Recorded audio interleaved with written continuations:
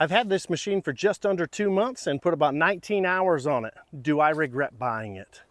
Should I have not bought it? Should you buy one? What's it like? What are the problems I've had with it? Have I had any problems with it? Should I have just stayed at home and bought a Barbie dream house? What do you think? Should I have not spent the money on this machine? Do you want one? What is this thing? That's what this video is about. I'm here to do a little review. Now, am I here to tell you if you need to buy a machine or don't need to buy a machine? No, I'm not your financial advisor. That's up to you. You talk to your accountant on that one, or maybe your wife. So I'm just here to let you know what I think about it after using it for 19 hours and any little issues I've run into and things that I think are great about it. So here we are. It's just me and you just sitting here talking about my little Derette DRT 450 mini skid. So 19 hours in, man, I think this thing's awesome. Is it perfect? No, it's not perfect. Could it be perfect? No, it's a machine. There's no machine in the world that's perfect. But I can certainly tell you that I love having this thing around my property. So first off, I've used this at my place, my place in southeastern Oklahoma, my buddy's house, a couple neighbors' houses, and uh, and man, it's done great for me. Let me show you a detailed play-by-play -play of using this thing. And as usual, here's our friends. There's my little Bucky. And then over here, you see, you see baby? Here comes baby. They want food.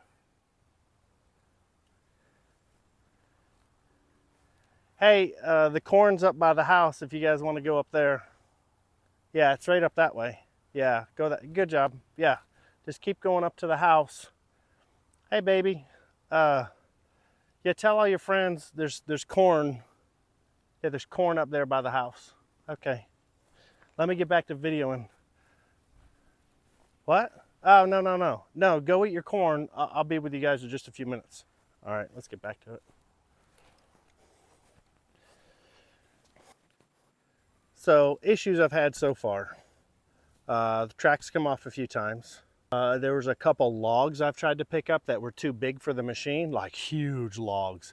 And when they've got the root ball and the, the big dirt clod on the end of them, I couldn't move that stump or that tree with a root ball. That's heavy. I tried to get this, but uh, that's a lot of dirt in there too. So it's not just a tree. Uh, this just can't pick up that much. So it easily lifts a few hundred pounds. Let me show you. I'm 240 pounds. This is me sitting in the bucket. I'm sitting in this little bucket. There's no weight on the back. So we know it can certainly hold 240 pounds. I still haven't gotten around to peeling off all this plastic that comes on it from the factory. I need to undo these Allens, take all the gauges out to be able to get that plastic off. I don't know why they left it on there, uh, but it's there. You can see my keys doing a good job of kind of tearing it up and getting that nice stainless underneath. Uh, everything else is still looking really good. Uh, yeah, there's no real issues with anything. I don't see any major signs of wear. Um, now where I hook my tie down straps, there's a couple little scratches. Uh, everything else almost looks new. I haven't used this bucket a whole lot, but I have used it. You know, the, the powder does chip off a little bit. Uh, I did pick up uh, hot embers and a burning log with it a couple weeks ago.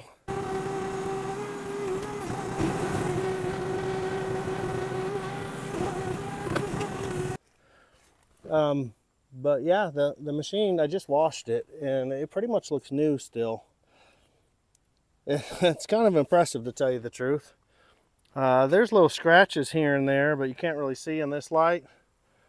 Uh, and I did notice that uh, the the little sticker that shows you you're supposed to connect your hydraulics here because you wouldn't know that otherwise uh, is peeling a little bit and a little peeling on the edge of this one that says don't stand in it. Yes. Oops. It's time to do some maintenance on the machine.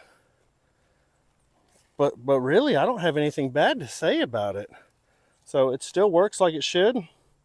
Turn the key, turn this key, it fires right up. Throttle still works like it should.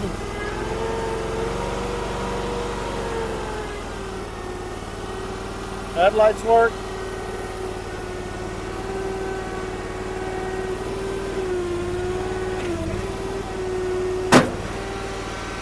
Uh, I don't know if the horn works, I never use it. The only time I've honked it is just for the video. Um, but yeah.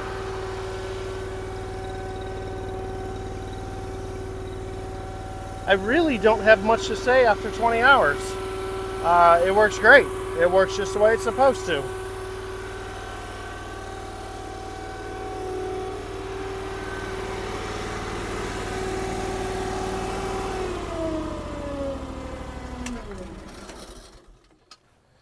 Now the attachments, that's a whole nother story.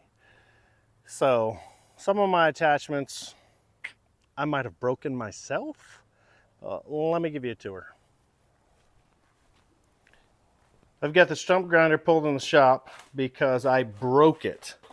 Not it broke on me, I broke it. I was unloading my, oh look at that. There's a little frog chilling in my shop. That's weird. So I was unloading my brush cutter and it slammed down on top of this and it split this wire. So I've got to fix that wire. Also, it chopped this off. When the brush cutter came down, it just cut this clean in half. Also, it slammed down on my 12 volt plug. So I've got a new cable, I've got a new plug, and I need to fix this wire and that stinks. So I did start taking the teeth off because I've got the new carbide teeth to go on here. So I'm leaving this one in the shop. It's an expensive piece and I don't want to get it messed up. So these are from my Mini X. Here's my auger. It's just sat out here on a pallet. I haven't even hooked it up to the machine yet. It is brand spanking new. It has never been used A couple little rust spots, but it looks good. Here's my grapple. I have used it. We've got some uh, some rust coming through there. Minor stuff. There's a few little areas where where you can see a little bit of rust. Not a big deal. It works great. Uh, I really do like that grapple. Next along the line, Let's see. Pallet forks work awesome. Uh, I'm, I don't know if these are powder coated because uh, there's a variety of areas that looks like paint didn't get to and there's rust forming so I'll clean that up looks great works great same thing with this trailer hitch a little bit of rust down in the gaps like it didn't get coverage. Here's my 4-in-1 bucket. I do really like the 4-in-1 bucket. I had the land leveler on the machine and I bumped into this and wow! And I plowed into this and I broke this fitting. Luckily, Derette did send me extra lines and this not just a fitting, this comes with the line. So I do have a new one of those uh, it just comes over to here so I've got to take it off there and put that on little scratches little bit of rust not a big deal that works awesome too let's come over here brush cutter brush cutter looks really sad because I used the crap out of it and uh, besides it's just being dirty with a whole bunch of tree stuff that got stuck on it and then it rained. I don't have it on a pallet. I do have a pallet for it. Um, but this, this looks almost new. I'm impressed with how well this is done. So, brush cutter, good. So here's the, uh, the trencher. Last time I used the trencher, the chain stretched a little. So I need to adjust the tension on the chain, which is looks like it's fairly easy to do. So I'll show you guys how to do that in an upcoming video. It looks like there's the adjuster right there and you just crank on that and it'll take the slack out of this chain here. So, and then I need to grease it all up. Next down, land leveler. Last time I used it, I did not clean it before I put it up. So it's still full of all the debris from the driveway. No rust, looks beautiful. That is in good shape. 19 hours in, do I regret buying this? No. 19 hours in, am I really glad I have it? Yes. Have I been able to do a lot of projects with it? Yes. You've seen them in my other videos. So, more to come on this. I just wanted to give you a quick uh, update video on how it's doing. And as of this point, I don't really have many complaints at all. Still works as it should. It's still awesome. And I'm still glad I bought it. Thanks for coming out. Thanks for watching the video. Like and subscribe if you enjoy this content. Besides that, have yourself a great day. Enjoy your time in the trees, and I'll see you next time.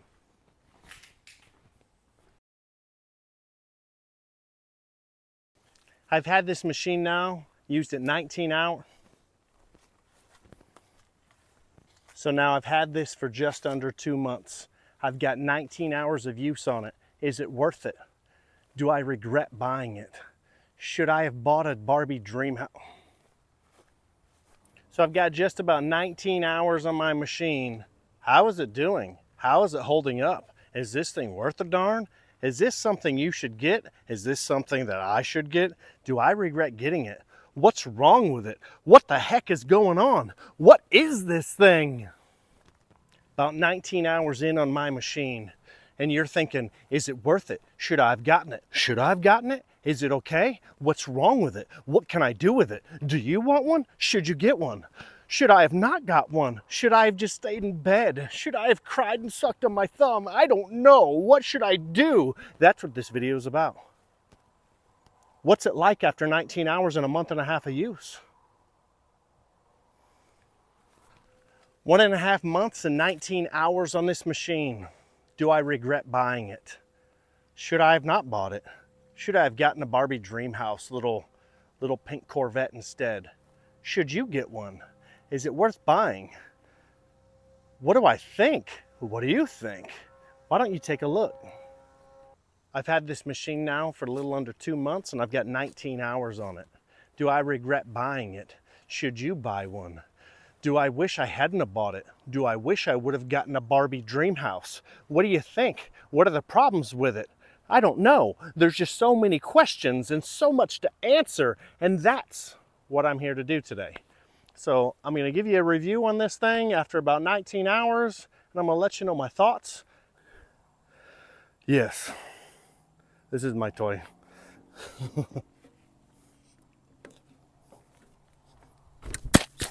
now, last time I used the trencher, the train